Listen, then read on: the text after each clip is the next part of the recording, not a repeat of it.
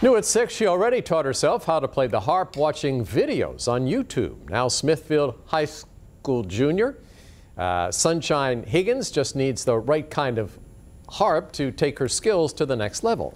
Yeah, but harps, especially those lever harps, are expensive, and her family is facing tough economic times. See how a group of guardian angels stepped up to help. When I was younger, I used to play this lap harp. It was really like small. It was, and I used to plink a plunk a plunk on it. Meet Sunshine Huggins, a Smithfield High junior who's been playing the harp since the age of three. During the pandemic lockdown, Sunshine used her musical skills to help soothe the nerves of her friends. She regularly performs at events. We just giving her the exposure that she desires so that what's in her heart can flourish. Loving support from a single mom who has struggled to make ends meet. This small ornamental harp, big enough to bring her listeners joy, but too small for Sunshine to elevate her skills to the next level, to play professionally and study music therapy. The harp got me through a lot, mentally, physically, everything.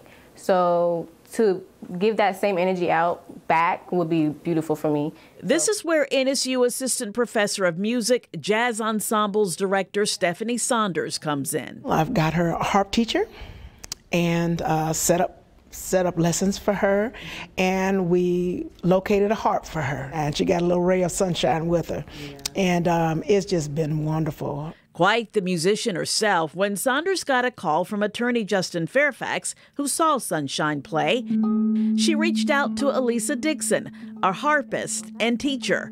Dixon reached out to a student no longer able to play. Fairfax bought that student's harp. Has to be right in the groove. Dixon got it ready, restringing and tuning. All of this going on unbeknownst to Sunshine. Good to see you. Good to see you. Who had no idea what was about to happen when she was asked to Dixon's home. Saunders sets the stage. You needed some assistance in trying to further your career and things of what you wanted to do. Then, oh, it's going to get bigger. It's going to get bigger and bigger. Oh my God. Screw on the legs. Oh, it's so crisp. Mom is overwhelmed with gratitude. Not just open doors, it's years of prayer. Mm-hmm. She's just wanted to help people with her respect and love for humanity. Thank you, Lord. Thank you, Stephanie. Thank you, my new mentor. yes, we did it. We got the art. Oh, she mm. was so happy there. Wow. Sunshine was once turned down for lessons because she didn't have the right kind of harp. She will now get lessons from Dixon right there in Dixon's Norfolk home, and she hopes to go to NSU after she graduates from high school.